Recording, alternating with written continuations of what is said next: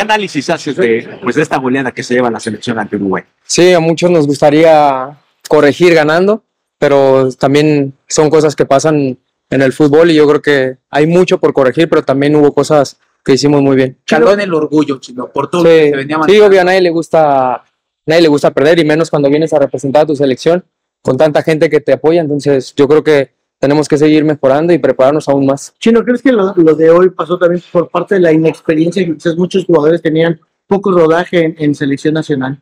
No, igual la inexperiencia no, no creo que, que haya sido. Jugamos contra un gran rival de talla europea.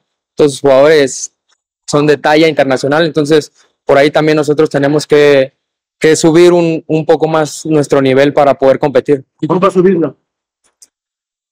Yo en, en mi, de, de mi parte, yo creo que yo estoy buscando salir a Europa para, para crecer. Yo creo que es la única forma de crecer, rodearte, tener este tipo de partidos cada fin de semana. Yo creo que eso te va a hacer mejor. con tu experiencia ya de algunos partidos en selección y que fue tu compañero seguramente, ¿qué hablaron con tal Arrangel? Porque debut y, y siempre el portero es seguramente de, de- de los futbolistas más criticados, ¿no? Un Sí, delantero sí, no, los- la falla y tiene Los goles nos los hicieron a, a la selección de México, no a, a Tala. Tala igual es, es el portero. En el primer gol me equivoco a mí, me equivoco yo, me ganan la espalda. Entonces yo creo que por ahí eh, el error es de la selección de México, no de un solo jugador. Y felicitarlo por, por, por la valentía que tuvo, por su debut y, y seguir mejorando.